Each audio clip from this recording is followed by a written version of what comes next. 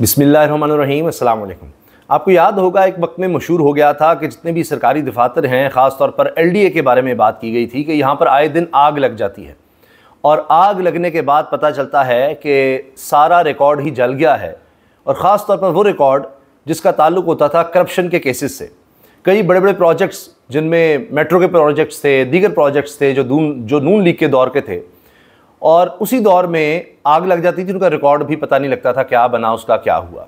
और जब कोई करप्शन कहानी सामने आती थी तो पता चलता था कि इसका तो रिकॉर्ड ही नहीं मिल रहा।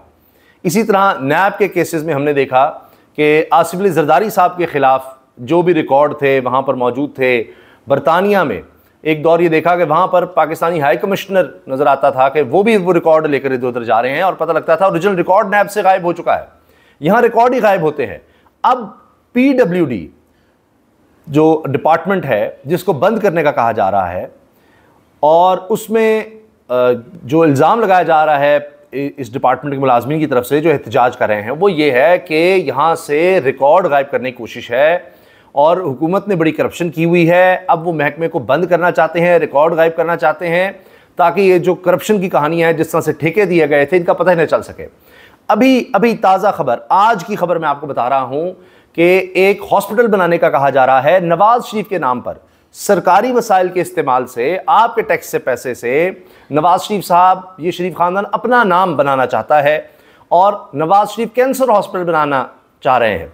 कोशिश क्या है कि जी वो इमरान खान ने शौकत खान हॉस्पिटल बनाया तो बस हम दिखाएँ कि नवाज़ शरीफ ने भी कैंसर हॉस्पिटल बनाया है। भाई, ज़मीन आसमान का फ़र्क है, वो उन्होंने चैरिटी से बनाया, अपनी एफर्ट से बनाया, लोगों को शामिल किया, आवाम ने उनको पैसा दिया। यहाँ ये टैक्स का पैसा अपनी ज़ात के लिए इस्तेमाल कर रहे हैं, अपनी ज़ात की मशहूरी के लिए। जी, नवाज़ शरीफ कैंसर हॉस्पिटल। पहले इतना कुछ किया गया है। अब ये रूल्स की खिलाफ वर्जी करके जो एक प्रॉपर होता है, उसकी फिजिबिलिटी रिपोर्ट होती है, दीगर चीज़ें देखी जाती है। नहीं नहीं, पचास अरब रुपए से ज़्यादा का प्रोजेक्ट है और उस पर इस तरह से आप देखें कि पैसा बहाया जा रहा है, पैसा लगाया जा रहा है कि कोई पूछ ही ना सके ये क्या हुआ है, क्या नहीं हुआ। और मैं आपको बता देता हूँ इसकी एग्जैक्ट डिटेल भी। जब इस तरह के प्रोजेक्ट सामने आते हैं तो फिर अगर कोई अफसर उस पर एतराज़ करता है तो उसके बाद उसकी भी छुट्टी कर दी जाती है और फिर रिकॉर्ड भी गायब कर दिया जाता है। ये शहबाज राना साहब की खबर है कि एक्निक approves Nawaz Sharif cancer hospital project in haste जल्दी में ये प्रोजेक्ट का उन्होंने अप्रूवल दे दिया। The government Tuesday approved in haste 53 billion तिरपन अरब रुपए का ये प्रोजेक्ट है। Nawaz Sharif cancer hospital without fulfilling the essential requirements of having detailed feasibility study and business plan मुझे बताइए कि दुनिया में कहाँ होता है कि आप पैसा आवाम का इस्तेमाल करें, टैक्स का पैसा इस्तेमाल करें और नाम अपना रखें। कभी आपने अमेरिका में सुना है कि जो भी आया, सदर आया या बरतानिया में सुना है, उसके नाम पर जनाब हॉस्पिटल्स बन रहे हैं, उसके नाम पर सड़कें बन रही हैं, उसके नाम पर सारा कुछ हो रहा है। ये ज़ाती तशीर। अभी भी वो चौदह रुपये वाला सारा ड्रामा था, चौदह रुपये फ़ी यूनिट जनाब बिजली कम आपको मिलेगी, जो उल्टा गले पड़ गया है। वो अब आप ये देखें कि उस पर मरीम साहबा के साथ पम्फलेट साथ मिल रहे थे। इश्तहारबाजी में बहुत ज़्यादा आगे हैं। अच्छा अब ये जो सारा मामला है पी डब्ल्यू डी का, जिसमें होता यही था कि जितने भी हुकूमत डेवलपमेंट्स के काम करने हैं, करवाने हैं, वो इस डिपार्टमेंट के थ्रू होकर जाते थे, उसकी फिजिबिलिटी वगैरह सब कुछ देखना था। अब ये उस महकमे को ही बंद कर रहे हैं। अब आप देखें कि एहतजाज है। लोग आज दफ्तरों में एहतजाज कर रहे हैं। कल लाठीचार्ज भी हुआ। आँसू गैस की शेलिंग हुई, पथराव हुआ। हुआ ये कि ये लोग बाहर निकले, जिस तरह यूटिलिटी स्टोर के मुलाजमिन निकले। अब उनसे तो कहा गया कि अच्छा कोई बात करेंगे, ये करेंगे, वो करेंगे। अभी उन्होंने अपना एहतजाज मुलतवी किया है कि जी मुजाकर हुए हैं और उसमें कहा गया है कि जी आपके हम जो भी इस वक्त मुतालबात हैं वो देखेंगे, मंजूर करेंगे, इस तरह की बात हुई। अब जो ये लोग हैं पीडब्ल्यूडी वाले, ये भी आए इन्होंने दफ्तर से निकलकर सड़क ब्लॉक की, वहाँ पर एहतजाज शुरू किया, पुलिस की भारी नफरी पहुँची, वहाँ पर तसादम शुरू हो गया और उसके बाद पुलिस ने लाठीचार्ज शुरू किया, मुलाजमीन को मारा, आँसू गैस के शेल चलाए वीडियोज़ इस वक्त मौजूद हैं, सोशल मीडिया पर गर्दिश कर रही हैं। फिर दर्जनों मुलाजमीन को, सरकारी मुलाजमीन हैं, दर्जनों सरकारी मुलाजमीन गिरफ़्तार कर लिए ये तो बेरोज़गार होने वाले हैं। अच्छा ये छोटे छोटे बेचारे मुलाजमीन, इन्हीं की शामत आनी है। और फिर ये कुछ लोग दफ्तर के अंदर चले गए। वहाँ से इन्होंने पथराव शुरू कर दिया, जिसमें पुलिस वाले भी ज़ख्मी हुए। ये कहते रहे, हमारे जो लोग हैं, उनको रिहा किया जाए। पुलिस ने कहा कि आपके ख़िलाफ़ तो अब कार्रवाई होगी कानूनी कार्रवाई होगी, इनको नहीं छोड़ा जाएगा। क्योंकि ये कौन सा कोई वज़ी अजम या जो इस वक्त अहदेदार हैं बड़े बड़े उनके रिश्तेदार हैं इनकी नौकरियाँ जाती जाएँ, लेकिन बड़े बड़े वज़रा की नौकरियाँ, जो ये काबीना का साइज़ है, ये बढ़ना चाहिए। इनके मामला या जो भी इनका स्टाफ है वो बढ़ते रहना चाहिए। उसके लिए एजाज़िए भी हैं लेकिन ये डिपार्टमेंट बंद होने जा रहा है। दूसरी खबर सुनिए। हमने आपसे हाल ही में अर्ज़ किया था शायद आ, कल की किसी वीडियो में हमने उस पर बात की थी कि ये खबर सामने आई कि मरियम नवाज़ साहिबा और मोहसिन नकवी के दरमियान जो एक जंग चल रही है उसमें यह भी है कि इन्होंने एक आर पी ओ का मुबैना तौर पर रावलपिंडी के गालबन थे उनका तबादला किया अपने किसी रहनमा कहने पर कत्ल का केस था। और उस मामले में मरीम साहबा ने कहा कि अच्छा वो तो उनके करीबी हैं, नून लीग के ज़ाहिर रहनुमा हैं, उन पर इल्ज़ाम आया। तो उन्होंने कहा कि जी, ये पुलिस वाला हमारा साथ नहीं दे रहा, उन्होंने आला अफसर का तबादला कर दिया, लेकिन आधे घंटे में ही वो नोटिफिकेशन वापस करना पड़ा।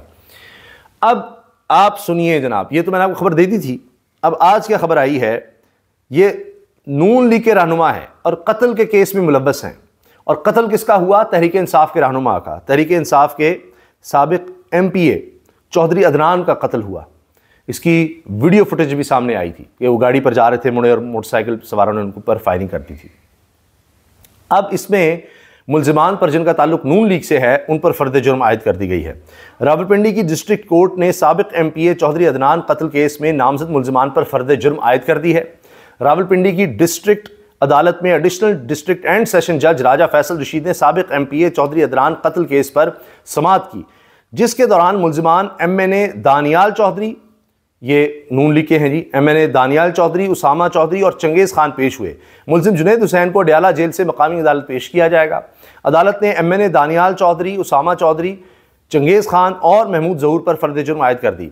बाद में अदालत की जानब से मुलजमान के वकील की अदम हाजिरी पर समात सत्रह सितंबर तक मुलतवी कर दी गई। सबक मेंबर पंजाब असम्बली चौधरी नान जो कि तरीके इंसाफ से ताल्लुक़ रखते थे, इनको बारह फरवरी को शाम पुलिस लाइन्स के सामने कत्ल किया गया था।